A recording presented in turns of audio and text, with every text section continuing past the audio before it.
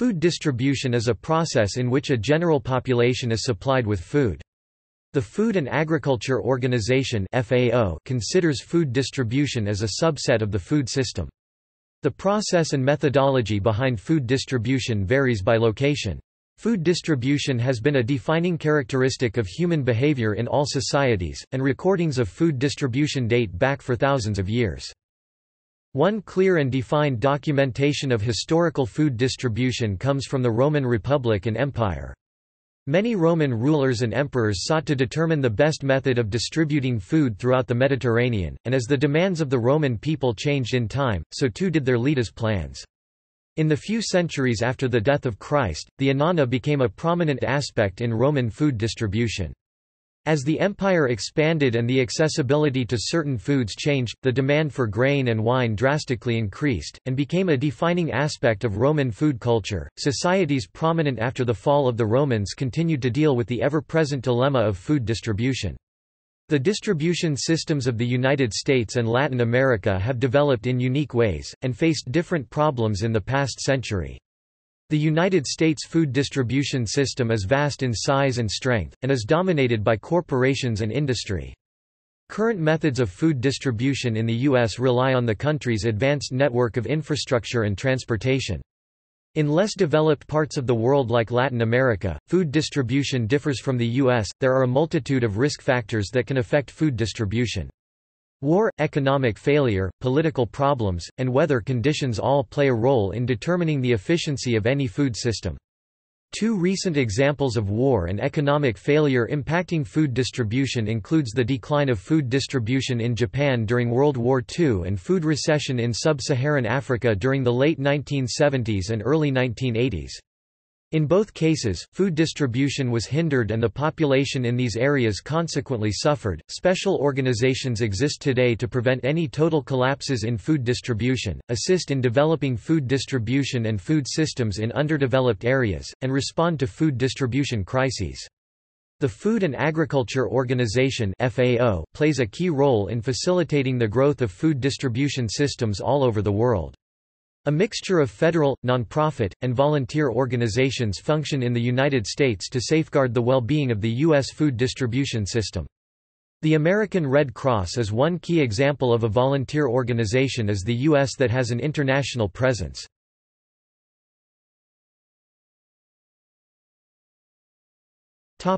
Rome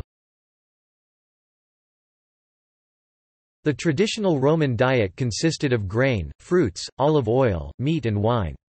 Of all these, grain was extremely important to the Roman people.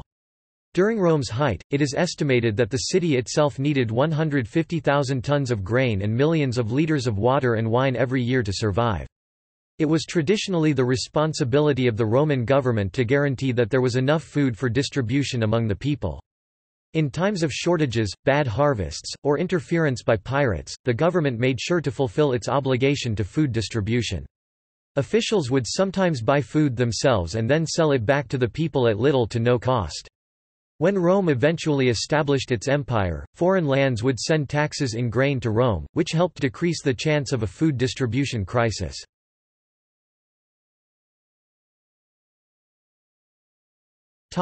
The Annona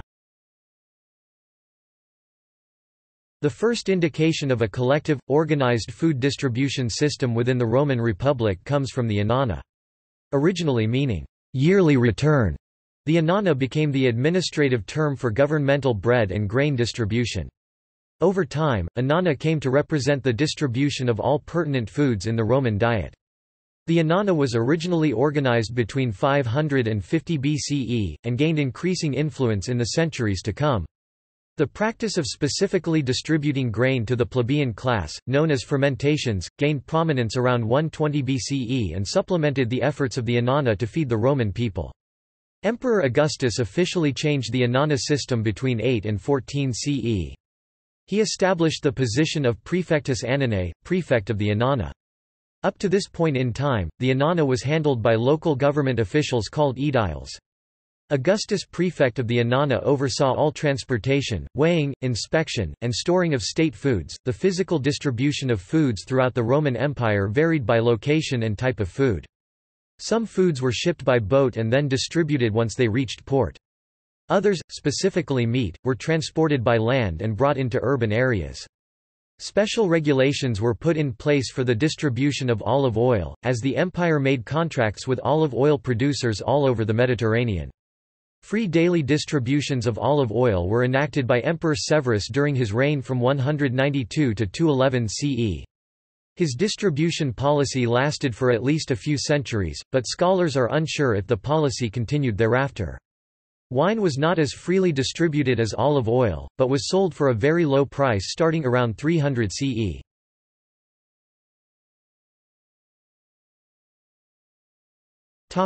Food distribution in the 20th and 21st centuries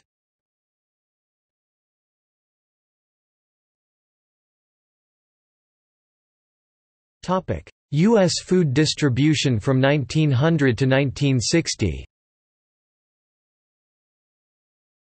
The United States food distribution system has experienced major changes in the past hundred years.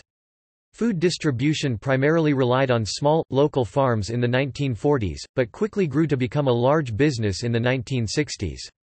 Three economic advances that allowed for the growth in food distribution between 1910 and 1960 were the establishment of chain stores, retail cooperatives, and supermarkets.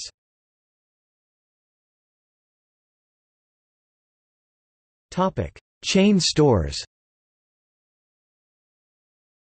Chain stores did not become popular in the United States until the end of World War I. It was reported in 1929 that chain stores accounted for 39% of all grocery sales in the United States. Chain stores' success is related to their ability to undersell smaller distributors. An anti-chain movement arose in response to the success of the chain stores during the Great Depression, but caused little detriment to the success and profitability of the chains.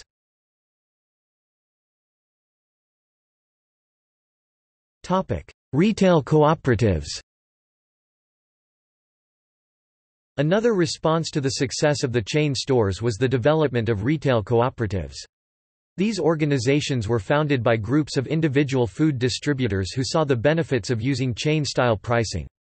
Retail cooperatives accounted for 7% to 8% of the food market in 1930, and an increase in their popularity with independent food distributors rose retail cooperatives' market share to 13% by 1958.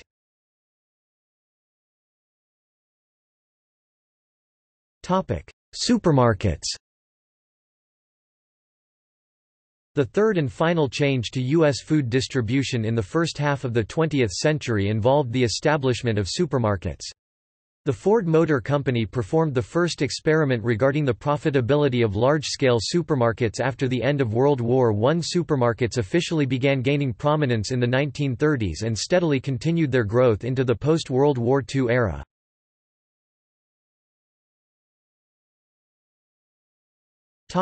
Modern U.S. food distribution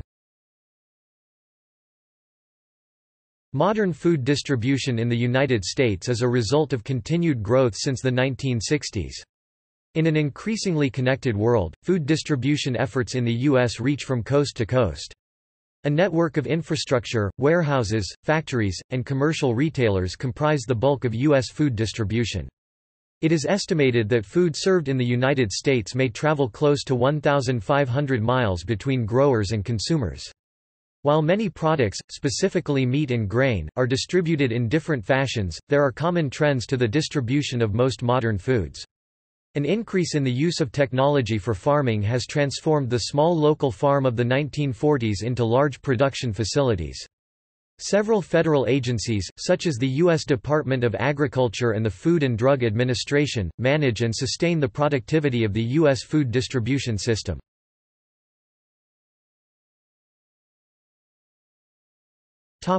Food distribution in Latin America Food distribution in Latin America is mainly dominated by large distributors and chains. Efforts have been made to compete with the industrialization of the food distribution system through the establishment of four types of organizations, consumer purchasing organizations, consumer cooperatives, voluntary chains, and retailer purchasing associations. Consumer purchasing organizations are groups of families who buy food together. The benefits of joining one of these organizations are the reduced cost and improved variety in diet that comes from purchasing food with other families. Consumer cooperatives differ from consumer purchasing organizations in that they are constituted by groups of individuals who work together to secure high-quality food for low prices. The cooperatives are analogous to a food union that actively works to secure the rights of its consumers. Voluntary chains are organizations of privately owned retailers and food wholesalers who operate as one economic body. These groups form contracts to work under, but are economically independent of one another. Retailer purchasing organizations are groups of retailers who purchase products as though they were a single buyer. Members within these organizations are all involved in the purchasing of goods, but do not form contracts.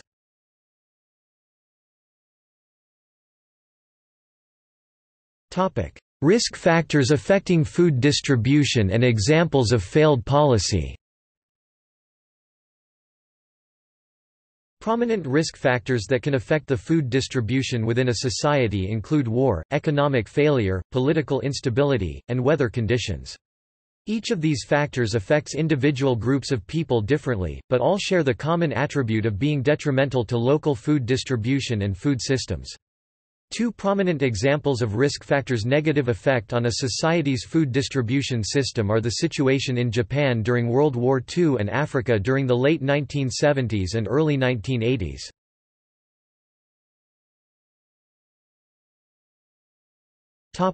Japan Japanese food distribution drastically decreased from the effects of World War II and the country's economic shortcomings. The need for food during the 1920s and 1930s rose drastically as Japan's population and average lifestyle increased. Japan was importing large amounts of rice, sugar, soybeans, and wheat from its colonies by 1935, and had a dependence on colonial possessions to distribute food to her people. 95% of Japanese rice between 1936 and 1938, just a few years before major conflict arose with the United States, was imported from its colonies in Korea and Formosa. Only 2% of Japan's rice came from foreign countries. As war engulfed Japan after 1941, food distribution efforts began to suffer. Japan lost a tremendous amount of cargo ships and was surrounded by an effective U.S. blockade for most of the war. Imports were down, which cut off Japan from its primary source of food. Rationing programs, ran by Japan's Central Foodstuff Corporation and local foodstuff corporations, were an attempt to distribute food equally among the general population. Changes in tax collection and price control were also created to feed Japan, but these measures ultimately did not supply the Japanese people with enough food for survival. The average ration allowance consisted of a flour mixture which was often unhealthy and barely edible. Normal consumers age 16 to 60 received an average 330 grams of ration per day in May 1943, and the situation only became more desperate as the war progressed. Rationing programs were reduced even further in July 1945, just before the war's end.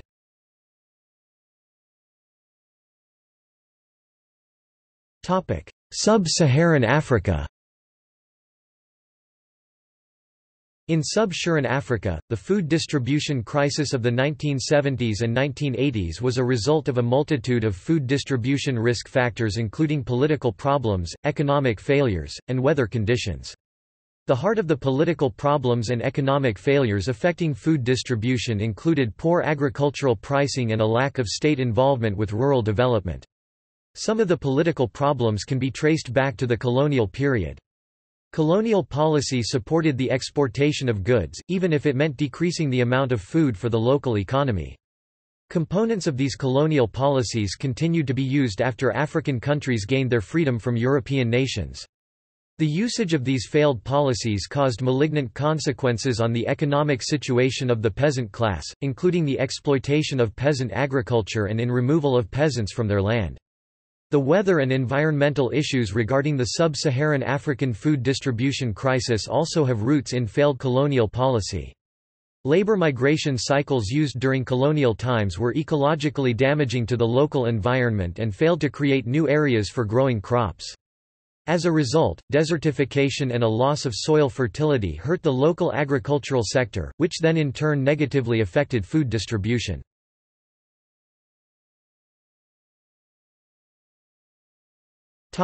Food distribution organizations.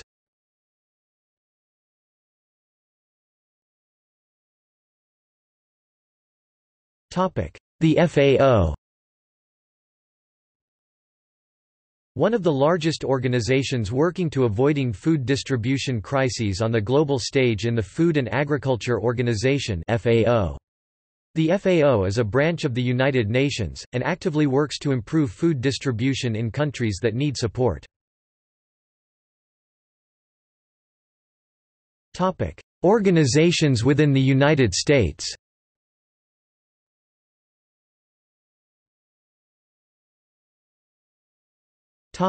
Federal and large scale Several different organizations exist to mitigate and respond to food distribution crises in the United States. Prominent contributors to large-scale food distribution effort in the U.S. include the Federal Emergency Management Agency FEMA, United States Department of Agriculture USDA, and Salvation Army. FEMA and the USDA work together during food distribution crises to coordinate the procurement and transportation of non-perishable food, water, and other resources to afflicted areas. The Salvation Army often receives federal supplies from FEMA and the USDA, and then works on the local level to distribute necessary goods. All food given to civilians during a crisis is typically distributed at mass emergency feeding stations.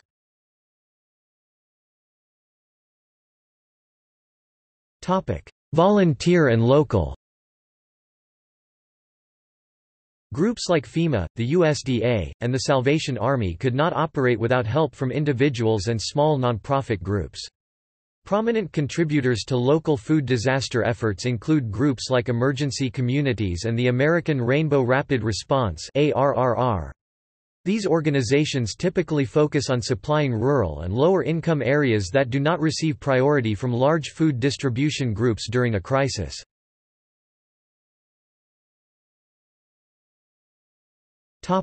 The American Red Cross Another group that works out of the United States is the American Red Cross. The American Red Cross is part of the International Red Cross, and 95% of all workers within the American Red Cross are volunteers. In the case of all crises, whether food-related or not, the American Red Cross is engaged in relieving disaster victims. The Red Cross coordinates with local communities to provide essentials such as food, water, and hot meals for those in need during a crisis.